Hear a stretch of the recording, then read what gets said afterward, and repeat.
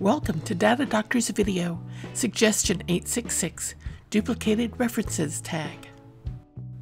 As you can see, there are duplicate sources in this profile. That is because the reference tag has been entered twice. Click on Edit. See the two tags? One is just below the Sources heading and the other is below that. Leave the one just below the Sources heading, where it should always be, and delete the second one.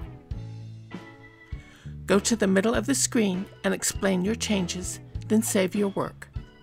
Return to the public view. The source is now only showing once.